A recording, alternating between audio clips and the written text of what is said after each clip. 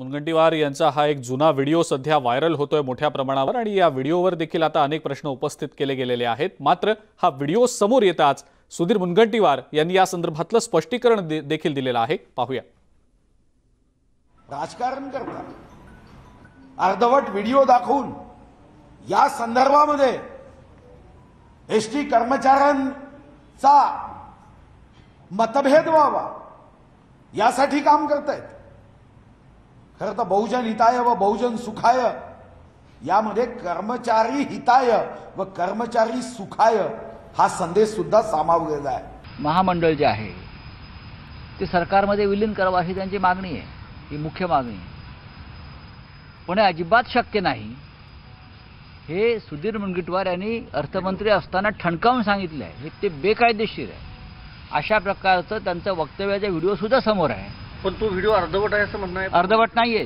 हे हे ती- हे त्यांचं वर्ग हे अजिबात अर्धवट नाही आहे आमच्याकडे पूर्ण व्हिडिओ आहे. पण भूमिका तीच आहे ना की शक्य नाही आहे या क्षणी शक्य नाही आहे तरीही भारतीय जनता पक्षातले हौशे नवशे गवशे उपरे हे त्याच्यावरती जे काही नाचतायत ते नाचू द्या त्यांना. त्यांच्या नाचण्यामुळे जर कामगारांचे प्रश्न सुटणार असतील तर सुटतील.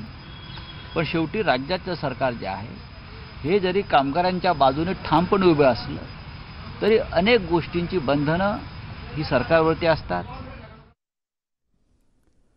दरम्यान सुधीर मुनगंटीवार यांनी राज्य सरकारच्या जाहीरनाम्यातील एस टी कर्मचाऱ्यांचा मुद्दा मांडत राज्य सरकारवर थेट टीका केली आहे. तसंच भाजप एस टी कर्मचाऱ्यांच्या पाठीशी असल्याचंही त्यांनी म्हटलेलं आहे.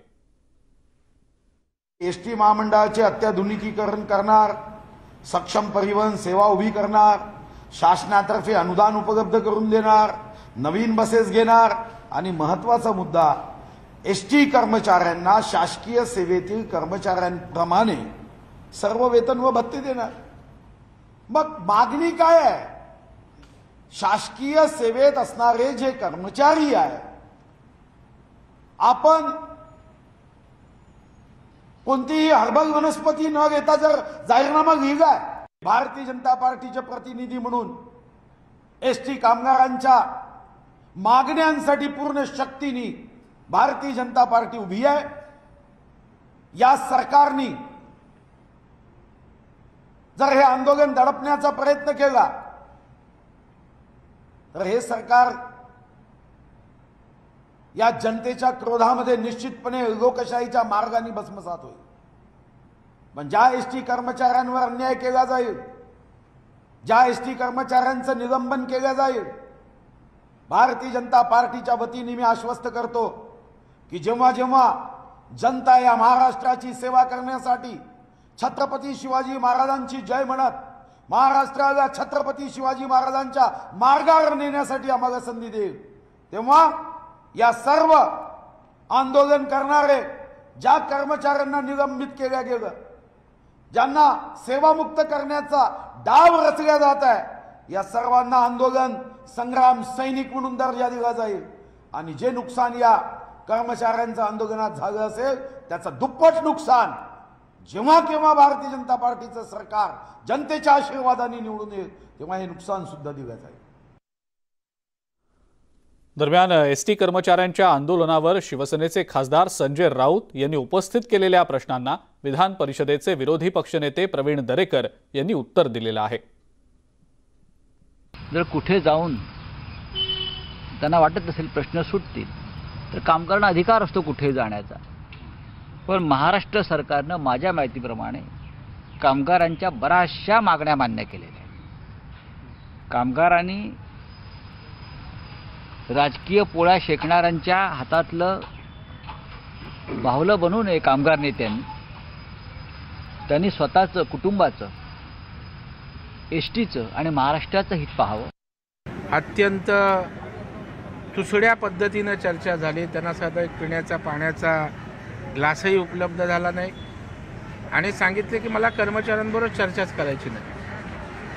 म्हणजे मला वाटतं युनियन त्यांच्या ऐकण्यात आहे. आणि त्याच्यामुळं युनियनशी चर्चा करणं त्यांना सोयीचं वाटतं. परंतु आता हे आंदोलन युनियनच्या हातात राहिलं नाही. कुठल्या नेत्याच्या हातात राहिलेलं नाही. कुठल्या पक्षाच्या हातात राहिलेलं नाही. हे आंदोलन कर्मचाऱ्यांचं झालंय जनतेचं झालंय. शिवसेनेचे खासदार संजय राऊत यांनी विरोधकांवर टीका केली आणि त्या टीकेला जोरदार प्रत्युत्तरही देण्यात आलं. त्यामागे राजकारण आहे. मला माहिती आहे. हे पुतळे जाळण्याचं राजकारण जे चालू आहे महाराष्ट्रामध्ये हे सगळे कोण आहेत? त्यांचा राजकीय अजेंडा काय आहे? यांना कामगारांच्या प्रश्नापेक्षा एस टीच्या संपापेक्षा एस टी कामगारांचे प्रश्न सोडवण्यापेक्षा महाराष्ट्राचं सरकार महाविकास आघाडी यांना बदनाम करण्यातच जास्त रस दिसतो आहे त्यांना कामगारांच्या चुली पेटाव्यात कामगारांचे प्रश्न सुटावेत असं वाटत नाही. मी जे आपल्याला म्हणालो की ब्रिटिश नीती वापरण्याचा प्रयत्न आहे.